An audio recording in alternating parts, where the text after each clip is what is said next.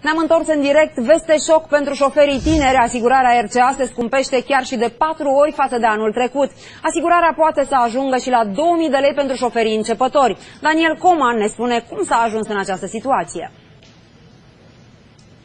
Bun găsit tuturor! Lipsa de experiență la volan scoate bani grei din buzunarele tinerilor. Și vă voi da un exemplu. Un tânăr de 26 de ani care conduce un Logan cu o capacitate de 1,6 litri și o putere de 90 de cai trebuie să plătească anual, atenție, între 1400 și 2200 de lei pentru asigurare. Asta în condițiile în care o astfel de mașină costă 8000 de euro. Adică ar putea foarte bine să-și mai cumpere o mașină cu banii pentru asigurare în 16 ani. De altfel, cel mai mult plătesc proaspeții posesori de permis chiar și chiar și cei cu vârsta de până în 30 de ani. Iar asta pentru că riscul de accidente este mai mare la oraș decât la țară. Și acest lucru le mai adaugă alte câteva sute de lei la prețul asigurării. Analizăm la cald această informație cu pilotul Valentin Porcișteanu, campion național de raliuri. Bună seara! Bună Mulțumesc seara. foarte mult că ești alături de noi în această seară.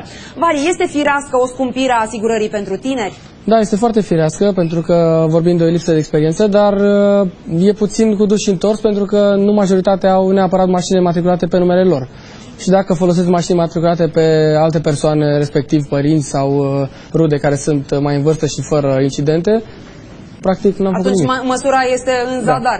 Vor fi mai disciplinați șoferii dacă uh, se scumpește această asigurare? Da, dacă cei care într-adevăr au mașini matriculate pe numele lor și sunt afectați de această mărire de, de asigurare, cu siguranță vor fi mult mai atenți pentru că, uh, bine, aici vorbim de un RCA, nu de casco și atunci când ai daune, oricum uh, asigurarea crește, deci vor trebui să plătească mai mult la următoarea asigurare. Nu de puține ori noi în jurnalele de știri prezentăm uh, informații conform cărora tinerii apasă aproape la maximum pedala accelerației. Ce îi face pe acești oameni să se creadă toți piloți?